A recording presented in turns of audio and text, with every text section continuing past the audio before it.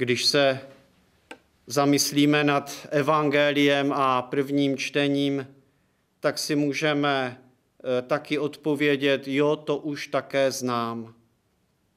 To vím, že pán pochválil nikoliv nepoctivost toho správce, ale jeho prozíravost ve vztahu k věčnému životu.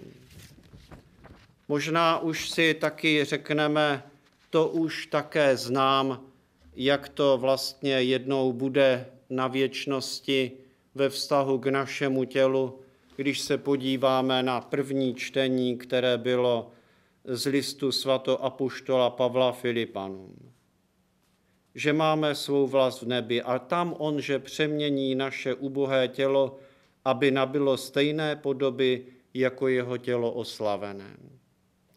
To všechno známe, ale jednu věc neznáme. Nevíme, co s námi bude.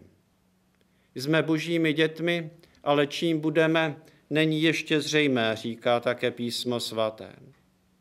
A tady v této otázce je zajímavé, že nás může někdo druhý, podobně jako svatý Pavel, ty Filipany, upozornit na skutečnost, není něco v pořádku.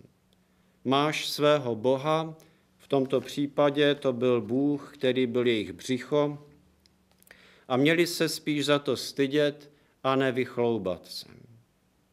Kež tedy to naše poznání Boha je vždycky v jednotě s Božím duchem a v té Boží pravdě.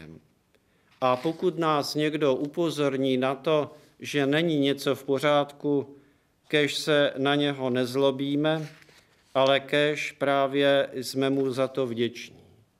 Takto se snažil pracovat a tak o to usiloval i dnešní světec svatý Karel Boromejský, když se v té renesanční době snažil ukázat, jak se dá žít a pro koho žijeme, komu důvěřujeme, že nás spasí nejen na duši, ale i na duši.